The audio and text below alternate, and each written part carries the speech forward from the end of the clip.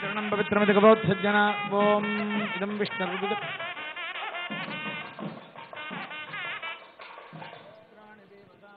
స్వామివారికి ఈ కళ్యాణ సందర్భంగా వస్త్రములు సమర్పించినటువంటి వారిలో దేవాదాయ ధర్మాదాయ శాఖ వారి ద్వారా సమర్పింపబడిన తర్వాత ఈ సందర్భంగా అనేక మంది భక్తులు స్వామివారికి ఈ పట్టు వస్త్రాలను సమర్పించడం జరుగుతూ ఉన్నది. పెన్నా సిమెంట్స్ ప్రతాపరెడ్డి గారు వారు దాదాపుగా ఈ కళ్యాణోత్సవంలో స్వామివారికి కట్టేటువంటి వస్త్రములన్నీ సమర్పించారు.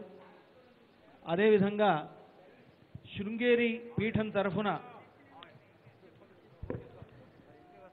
శృంగేరి శారదాపీఠం తరఫున అంబాసత్రం వారు అదేవిధంగా రాష్ట్ర ప్రభుత్వం తరఫున స్వామివారికి సమర్పించడంతో పాటు వ్యక్తిగతంగా దేవాదాయ ధర్మాదాయ శాఖ మంత్రి గారు వారు కూడా దంపతులు ఇంద్రకరణ్ రెడ్డి దంపతులు వస్త్రాలు సమర్పిస్తూ ఉన్నారు ఈ కళ్యాణోత్సవం సందర్భంగా.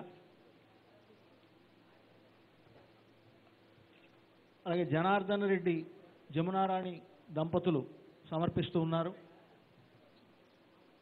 ఆ తర్వాత శృంగేరి శారదాపీఠం తరఫున రామదాసు గారి జ్ఞాపకార్థం రామచంద్రమూర్తి వారికి అంబాసత్రం వ్యవస్థాపకులైనటువంటి పమిడిఘంటం వెంకటరమణ హరిదాసు గారి జ్ఞాపకార్థం సీతా అమ్మవారికి శృంగేరి పీఠం వారు సమర్పిస్తూ ఉన్నారు.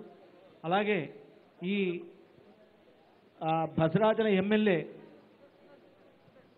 పొదెం వీరయ్య గారి దంపతులు స్వామివారికి అమ్మవారికి పట్టు వస్త్రాలు అంతకంటే ముందుగా ఈ క్షేత్ర నిర్మాత భద్రాచల క్షేత్ర ఉద్ధారకుడు అయినటువంటి భక్త రామదాసు గారి యొక్క పదవతరం వారసులు కంచర్ల శ్రీనివాసరావు దంపతులు రామదాసు గారి యొక్క సేవగా వారు పట్టు సమర్పిస్తున్నారు.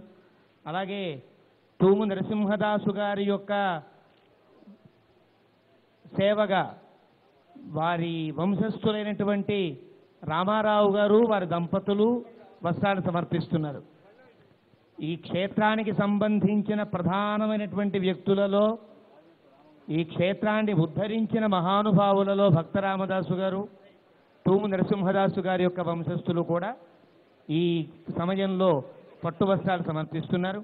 అలాగే పోకల దమ్మక్క యొక్క స్ఫూర్తిగా ఈ ప్రాంతపు ఎమ్మెల్యే అయినటువంటి